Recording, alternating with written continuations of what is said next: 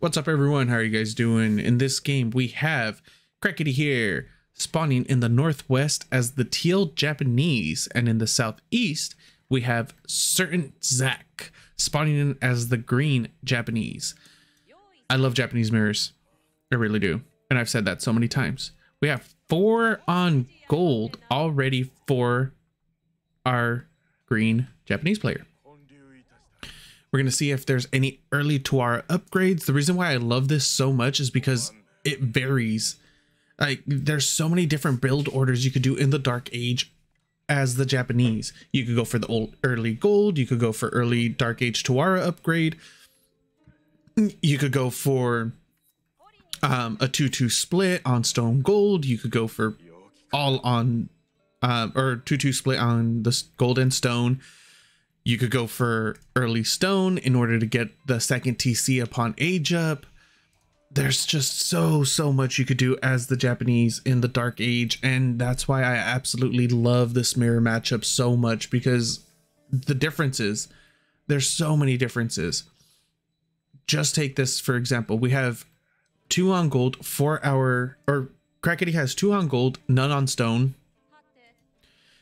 Zach over here has four on stone, rest on food, neither of them going for the early Tawara upgrade, which is fine. The main thing, the main difference we will note though, is the way that they split their villagers in the early stages between the gold and the stone. I would have liked to see five.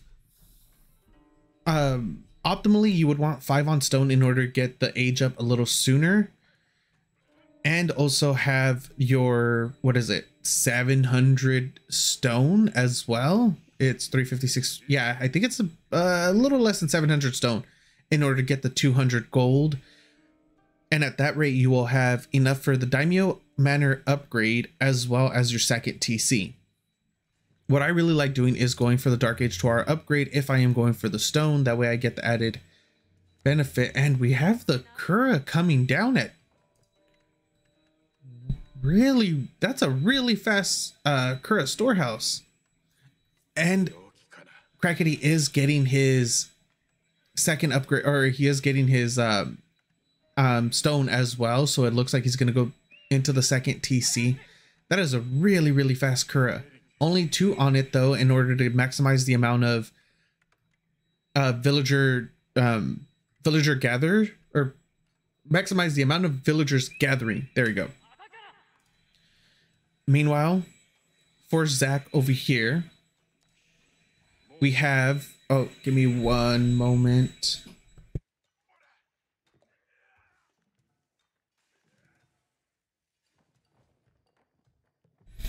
And now we do see the Kura storehouse coming down for Zach. It's going to be at about a four minute timing for him. Uh, a little bit less or a little bit more than that since he only has the three on there at the moment. Halfway done for Crackedy. Oh, let me switch this. I always forget. Five villagers on stone for Crackedy. None for Zach. He's already switched over to gathering up as much wood as he can. That way he would be able to get his second TC once the Kura storehouse finishes. And he should be he might be placing it up here. Wait, why is there only five deer there? Shouldn't there be seven? Are there only five deer on these patches? On in these herds? So the, the small ones are still... Oh no, the small ones are only two. What the heck? No, there's three right there in that small one. Oh, okay, there are three right there. Three over here and five. Interesting. I could have sworn that there were seven. Very, very interesting. We do still have gold coming through for Crackedy. He has three on gold, three on stone. Where? Where did the rest of his stone go? I don't... Yeah, he just aged up. He has plus one. He's been gathering stone this entire time. How does he only have 63? Stables coming through. No plus one yet for uh, plus one attack yet for either player. First horseman, uh, Katana Bannerman. Oh, okay. That I forgot. He, I didn't see it in the um notifications. He was he already got his Daimyo Manor, and then second TC is coming down right next to the Kura storehouse on the gold for our green Japanese player. Gathering up some more stone right now. Daimyo Manor. Wait, how? Okay, I don't get what's going on. Zach had enough stone for... Didn't he have over 600 stone? Did I just completely miscalculate everything? Because I could have sworn Zach had the stone in order to get the Daimyo Manor and the second TC upon age up. But it looks like he was about 150 shy. Charge goes off on the villager over here at the berry bushes. It is going to go down. One villager kills up. Which one is getting the daimyo? The main TC is getting the daimyo manor. And now the villagers from stone are getting pulled off onto wood. Or are they trying? Yeah, they're getting transferred over to wood. And he's... Zach is going to want to try to get an outpost up. Probably right here or right here in order to kind of defend his stone and his wood line. He does have a really nice spot right here in order to start gathering wood if uh, if he really wanted to. He has the 100 now in order to drop an outpost. Meanwhile, up here with Crackedy, we do see the barracks coming down. Second one is also coming down. Tawara is coming through for Zach. And it already has finished up for Crackedy. No plus, oh, actually I have to check because it doesn't show up on the caster UI observer UI. Another villager is going to go down for Zach, but he is sitting on 2 TC. So it these little picks, yes, they do make a difference, but in the long term, since he is sitting on 2 TC, he's going to be able to eventually gain a huge, huge economic lead. It looks like the sheep's the sheep are almost done for Zach. Meanwhile, Crackedy still has a lot of sheep right neck right under his TC. I would like to see these villagers get pulled off from sheep onto the berries since once you get the Tawara upgrade, your gather rate on berries is more uh, or is higher than it is if you were gathering sheep. It's only slightly from what I can remember, but still, it, an increased gather rate does make a difference. We do have Hardened Spearman out for Zach, currently sitting at four with the Geisha on the way.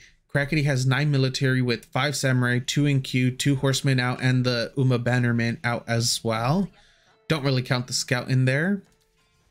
Nice little wall is gonna come up right here on the eastern side of his base, and a huge natural wall right there with the wood line. Scout poking forward uh, for Crackedy. Just checking out what he's going up against. He notices that there's a second barracks coming up. Houses are getting dropped. And Zach is sitting on 38 villagers at the moment. Plus two is... Oh no, yeah, plus, wait, I thought I saw plus two finishing up for one of these two players. Oh, guess not. Plus one hasn't even been started for uh for Zach either. The charge goes off onto the geishas.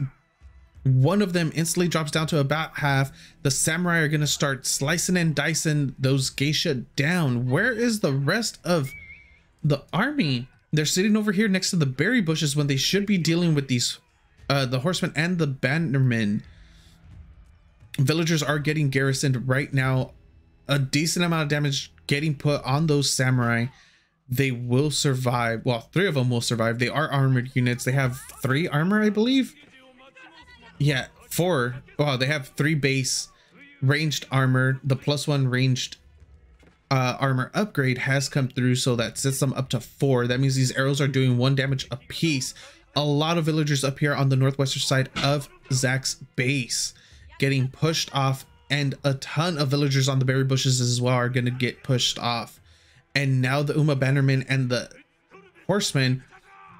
Uh, were they able to get a villager? No. Currently, there are three villager kills for Crackedy, none for Zach and a lot of damage has been put onto one of the samurai for Crackedy ends up going down. Crackedy is sitting on 13 military at the moment, 11 geisha, two katana bannermen are coming through as well, and now he's building a ram. This is going to be unrelenting pressure for a while if Zach isn't able to get that military number up the geisha are going to completely just mount the spearmen. We need to see a couple more barracks coming up. If Zach was able to sneak some villagers, eight villagers off over here, grab the boar, that's going to be a really, really good source of food for for quite some time.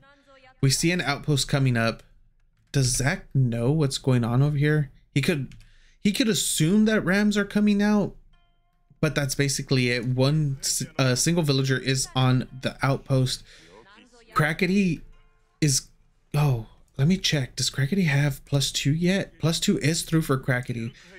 No upgrades whatsoever for Zach. It's such a cheap upgrade. He needed to get this five minutes ago. like, there's no reason not to. It's 75 gold, 25 stone. He has he had enough to get plus two a long time ago, but now Crackedy is gonna attempt to overwhelm Zach 22 military to 19. The Geisha and the Samurai have way better upgrades than Zach does, and I don't think Zach's gonna be able to hold this. The two Rams are gonna get rid of literally half of Zach's production. We do see two more barracks coming up in the back though. I honestly think it's a little too late. Too little too late for those additional barracks. Meanwhile, on the western side, we do have a single horseman poking away at those villagers. Two more go down. The second barracks is about to go down right now as well. And Zach is just getting cleaned up. The Uma, I mean, excuse me, the Katana Bannerman is down. And now the second town center is under fire. Not on fire, just under fire.